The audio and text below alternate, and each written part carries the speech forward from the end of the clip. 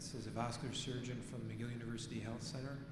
He was the chair of the division for almost forever, I think. He just stepped down recently. Too long. Long time. Uh, he's also a member of our aortic clinic, uh, which has cardiology, vascular surgery, and cardiac surgery, and also genetics, where we also follow all the type A and type B dissections. So interesting to hear what you have to say, Juan. Thank you. Uh, thank you for the opportunity here at the bitter end of this day. Um, basically, my talk, uh, there's not a lot of, I don't have a lot of data to present to you because there isn't a lot of data uh, regarding acute type B dissections in patients with inherited aortopathy.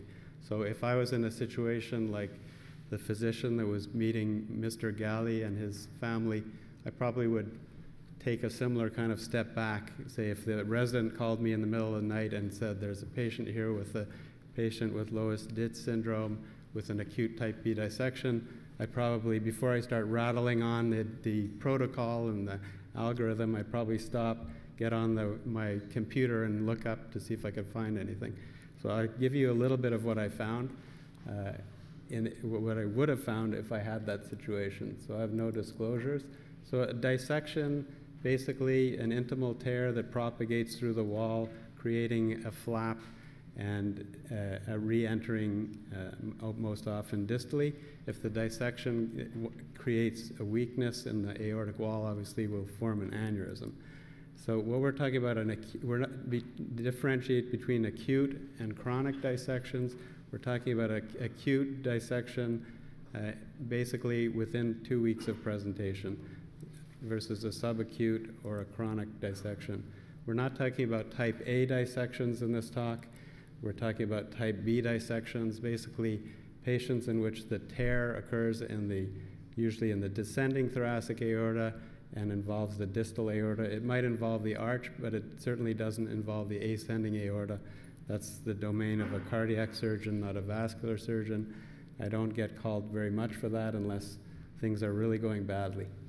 So this, uh, the diagnosis is with CT scan or CT angiogram, and CT angiogram is very valuable because not only does it give you the diagnosis, it gives you the full extent of the aorta, and it's very important to image the entire aorta from the arch all the way down, so you see the true course of the dissection flap and what, are, what how is it impinging or involving all the different branches of the aorta. The, the key uh, for, for management of an acute dissection is medical management. That means having the patient in a monitor, monitored setting, blood pressure lowering, and pain control.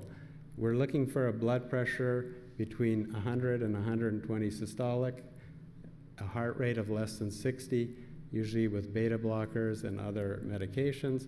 The goal is to prevent the propagation of the dissection, stabilize the aorta, prevent an aneurysm formation. So from IRAD data, all comers, approximately 73% of acute type B aortic dissections can be managed so-called conservatively, that is with medical therapy. In hospital mortality, approximately 10%, and uh, survival is pretty good. So what, medical management doesn't mean just give the drugs and, and forget about the patient and discharge to the floor later. It means serial imaging of the aorta over the course of hours, days, weeks sometimes to evaluate what is the evolution of the dissected aorta. Um, we, beside, on top of medical management, there are various interventions that we do uh, to treat type B aortic, acute type B aortic dissections, and that is when we have th uh, these following aneurysm, uh, aortic rupture, aneurysm, malperfusion syndromes, or if medical therapy is failing and we have continued uncontrolled hypertension and re refractory pain. So rupture can easily be visualized on a CT scan, and it usually will come along with hemodynamic collapse aneurysm, again, on your serial imaging, you'll see an evolution in the diameter of the aortic. There are various malperfusion syndromes. Malperfusion syndromes basically occurring because of the course of the dissection flap, either a, in a static way on the image on the, on the left, where the dissection goes directly into the branch and it causes occlusion or ischemia, or a dynamic um, syndrome in which the flap inter is intermittently or permanently pressed against the um, uh, branch due to a differential in pressure between the true and false lumen. So the dynamic obstruction can be an intermittent phenomena. Uh, it, can, it, it, can vary with the heart rate, and sometimes it's not always evident on the CT scan, and it depends on the timing of the scan. The malperfusion, it can uh, involve pretty much any branch of the aorta, and it's highly variable between individual patients, so it really takes very careful, evaluation. uh, careful um, attention to details in evaluating these patients and their scans to appreciate whether the intercostal arteries, mesenteric arteries, renal arteries, etc., are involved because each of these organs can have ischemia and have a clinical uh, defect, and these patients are at the highest risk for mortality and morbidity after presenting with an acute type B dissection. So the indications for further intervention above medical management is when we have so-called complicated acute type B dissection. These, this list of uh, um, indications there. So the two, there are basically two options when you're dealing with an acute type B dissection. You either use an endovascular approach with the TEVAR graft, or you'd use an open approach with open um, uh, repair. So TEVAR, the goal of the TEVAR is to cover the entry tear, reperfuse the true lumen, and exclude, basically try to exclude the false lumen. The TEVAR, as was pointed out by previous speakers, you need, a, you need proper anatomy to have a stent graft deploy, sit in the aorta, and do the job. It has to have, you have to have at least two centimeter, ideally proximal and distal landing zones. You have to have a lack of excessive tortuosity, and the quality of the vessel has to be good. It can't be too ectatic or it's not going to work. So we, TEVAR is very effective, however, in treating malperfusion eh, compared to, I think, compared to open repair. And I think that's one of the reasons why the mortality uh, in our, the way we treat type B dissections has gone way down when, we, when there's been a more of an emphasis with TEVAR.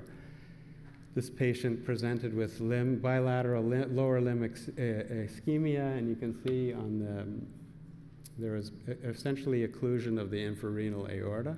So had, um, and we deployed a TEVAR graft here in the proximal aorta, reperfused the true lumen. You see that the, the true lumen to false lumen ratio is increased, and this same patient, eight years later now, the aorta has essentially healed. So this patient obviously doesn't have a heritable aortic um, disease. These grafts we tend to deploy very proximally in the, the uh, descending thoracic aorta, sometimes overlapping the left subclavian. Uh, if the hematoma involves the arch, but it's clear that the tear is in the descending thoracic aorta, we can also uh, deploy the graft more, more proximally in the aorta uh, and perform various debranching procedures. And sometimes we can do a combination of an open arch procedure with a stented graft distally, uh, Thoraflex or what have you, to um, uh, treat the, the patient. But that really depends on the anatomy and the extent of the dissection. So open surgery for an acute dissection essentially means a left thoracotomy it need, means proximal distal clamping. It means opening the aorta, opening the dissection flap, sewing a synthetic graft or prosthetic graft proximally and distally, and again, in, in, an effort to redirect flow down the true lumen. These are procedures are generally done with some kind of circulatory, uh, circulatory support, such as the atriofemoral bypass, and uh, pretty standard uh, approach. Sometimes when the, the dissection is very high and involving the arch, like in this patient, we had we did this procedure under circulatory arrest. We did, actually did this through the left chest. Um, in a, that was a Marfan syndrome patient. So if you look at data on survival in patients with type, acute type B dissection and you stratify them according to the intervention type, medical management means essentially uncomplicated type B dissection. TEVAR versus surgical management, there was a huge difference in the outcome as far as survival. And that is the reason why, in this day and age, this procedure, open repair, is actually rarely done in most centers because the, of the higher morbidity and mortality when compared with TEVAR. Uh, it's more common. It's more commonly performed in chronic aneurysms from chronic type B dissections or, or type A dissections and in uh, patients with inherited uh, aortopathy. So the basic uh, algorithm is uncomplicated medical therapy, complicated medical therapy, plus usually endovascular therapy and sometimes open surgery. So what do we do in a patient that has an inherited uh, aortic uh, disease, such as Marfan's, Loeys-Dietz, uh, whatever? We don't, how do we decide what's the best option? I think the literature, even though it's very sparse, it's pretty clear what the main, uh, um, the main uh, treatment uh, algorithm should be. They're basically case reports, small series. There's some registries now, and most of the data, as was pointed up out by uh, earlier speakers, is on patients with Marfan's. So this is a kind of uh, um, paper. Again, if you're looking at 16 patients here in this series with, uh, you're, you're only looking at three patients with acute dissection, type B dissection. So even if you look at relatively, or, or a small series, you're looking at an even smaller series of patients presenting with an acute type B dissection. So it's very difficult to extrapolate from that information and try to figure and, and get any useful information. Again, even in patients with inherited aortopathy, medical therapy is again the cornerstone of the treatment.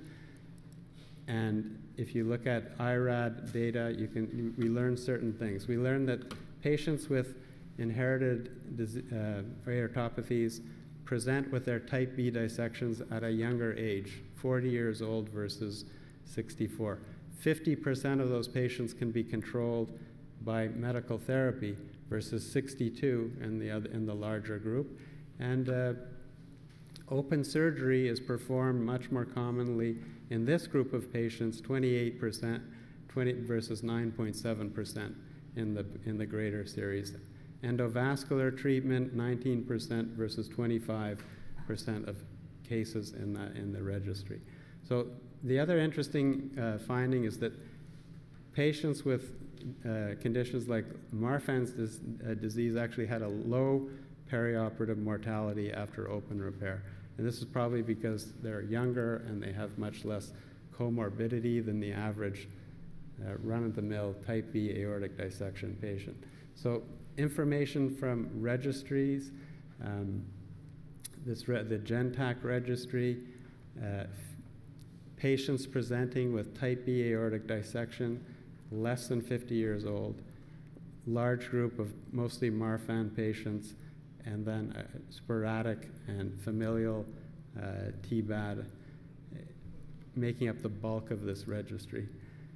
Uh, patients with, um, again, lower incidence of hypertension in patients with Marfan's, 28% versus 71% in the sporadic cases. Repair of the descending thoracic aorta is very common in patients with Marfan, 61% versus 48% in the sporadic cases at a mean of 34 year. Thoracoabdominal aneurysm repair also much more common in patient with Marfan syndrome who present with a type B dissection. No difference in survival though. So is, is there a role for TEVAR in inherited aortic uh, diseases? There is some role, I think, but if you, you, if you use it too much, I think you'll get, you, you'll get too much practice doing this operation, which is not what you want to have, meaning T, uh, TEVAR explantation. So endovascular uh, thoracic aortic repair in confirmed or suspected genetically triggered thoracic aortic patients. Again, this, this I think this uh, same slide was shown in an earlier presentation. 31 patients presenting with acute and chronic TBAD. Again, it's acute and chronic. So it's not only, we're not only looking at the acute presentations, again, a, uh, a mix of syndrome, um, and uh, many of these patients were presumed syndrome, um, inherited disease uh, just because of their young age. Um, again, TBAD treated with TEVAR, 42% reintervention rate within a median of nine months, three retrograde type A dissections. 20, that basically meant 25% of the stent grafts that were implanted in the native aorta resulted in an acute type A dissection. Uh, 10 open thoracoabdominal aneurysms with stent uh, explantation. So, what's a retrograde type A dissection post TEVAR? Basically, it means that the um, the uh, you convert a bad problem into an even worse problem. So you have a, a rare complication of regular TEVAR for TBAD, only 1.2, 1.3 to 4 percent, occurring up to 25 percent in these patients with more fragile aortas. What are the risk factors for retrograde type A dissection? We know that excessive graft oversizing is a risk factor, ballooning of the graft is a risk factor, and uh, sometimes failure to cover the actual true entry tear is, is, is obviously a risk factor. And then there's this, this other category, fragility of the aortic wall, and that applies to the, the inheritable uh, or heritable um, aortic disease patients. So re- reintervention again, 42% nine months, uh, compared to 12 to 14% with sporadic TEVAR for TBAD. So TEVAR for acute TBAD and Marfan's, high risk of endoleak at proximal and distal fixation site, dilation at, fix, uh, at the, due to the dilation of the aorta at the fixation points, high risk of progressive aortic expansion, high risk of retrograde um, um, dissection, type A dissection. So this patient is patient 16 year old when I first met him, initially diagnosed with Marfan syndrome, then after uh, Im- recent immigrant to Canada, but after further genetic testing, he was re-diagnosed as uh, Lloyd uh, syndrome. So previous AVR aortic root replacement, we did an open thoracoabdominal aortic aneurysm repair on this patient when he was 16. He presented again when he was, he, he had been followed actually very carefully, closely, no sign of problems. He presented with, uh, in shock with an acute uh, type B dissection um, in extremis. So we took the patient to the operating room. We deployed a TEVAR graft, stabilized the patient. He survived this hospitalization, spent approximately four, or four and a half months in the hospital, eventually went home. We were discussing whether we were going to proceed and now replace his aortic arch, but then he presented again a couple of months later with chest pain and acute dilation of his ascending aorta. So within six months, his ascending aorta went from this to this, and you can see clearly there's a flap consistent with a type A dissection. This patient underwent uh, arch repair uh, with the distal anastomosis into the TEVAR graft and uh, following him still now at 29 years old. So there is a role, it, it saved his life, but it clearly was not the, the solution, long term solution. From, the, uh, from this registry in uh, Norway, we're looking at 57 cardiovascular operations and 35 patients, um, nine, um, nine post dissection aneurysms distal DR.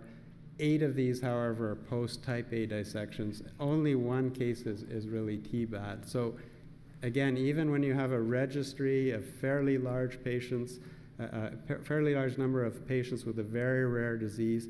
If you really want to drill it down and find out what is the, what do you do in TBAD, you have a hard time finding useful information. Another patient we treated recently, 24 years old, uh, previous MVR in 2006, spinal fusions, aortic root repair, ascending aortic repair, open type B dissection in June 2018, had to have a redo because of a distal pseudoaneurysm. So he had already had two um, left thoracotomies. Um, we wanted to, and he had then had progressive dilatation over a six month period of his dis- distal descending thoracic aorta from 3.8 to 4.5 centimeters. So we wanted to avoid another thoracotomy.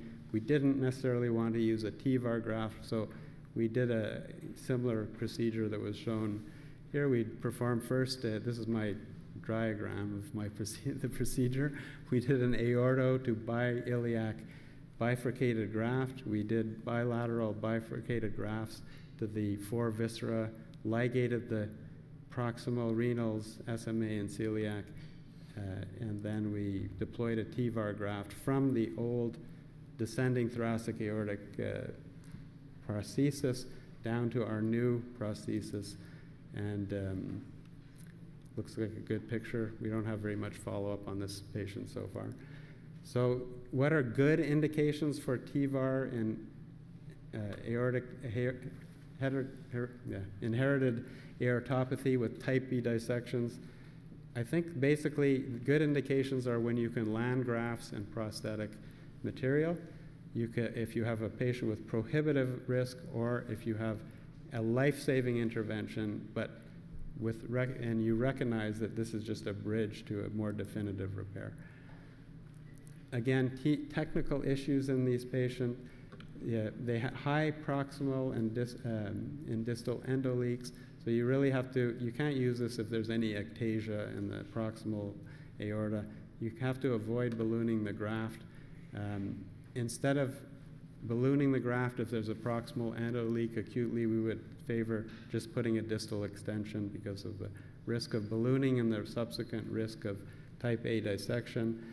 Um, again, ideally proximal and distal fixation in the graft. Some issues about TEVAR in these patients. We normally we do all of our TEVARs with percutaneous access, but in these patients, I, I don't do that. We do open access and repair the artery under direct vision uh, with or without any kind of reinforcement. Um, they obviously will require very strict postoperative imaging and follow-up. Um, so basically, in, in outside of Marfan's, we really don't have very good information about um, the outcome of TEVAR.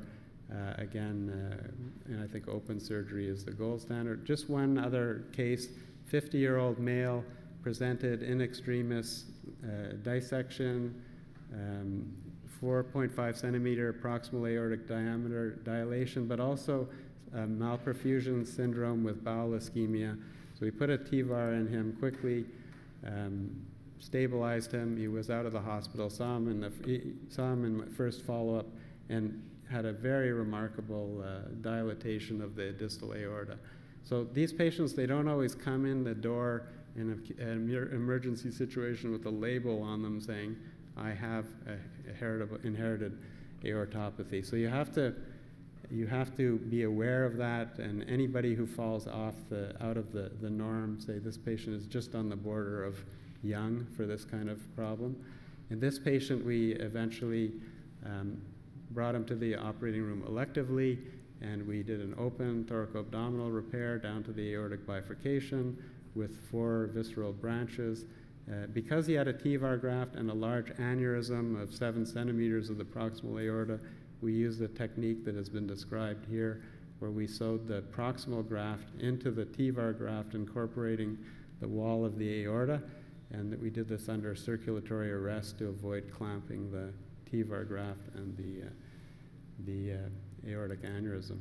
So you have to suspect heritable disease in these patients who, who are young, who have concomitant aneurysms elsewhere in the aorta. Um, that ha- certainly, if they have clinical extravascular st- stigmata, if they present with an acute dissection and they are normal, have basically no history of any hypertension, you should have you should be suspicious. Uh, you should consider open repair, I think, as a treatment of choice if they're hemodynamically stable and if it's possible. TEVAR if very unstable, or particularly if they have a malperfusion system. Um, so, in summary, there's some data, but it's mostly for Marfan. We have no, little to no data on the other syndromes. Medical therapy is the cornerstone of treatment. Um, open repair is the treatment of choice. Uh, TEVAR, high risk, um, only in special cases and have a high index of suspicion in patients that don't fit the norm. And, and um, I think that's about it. I think you've probably had enough.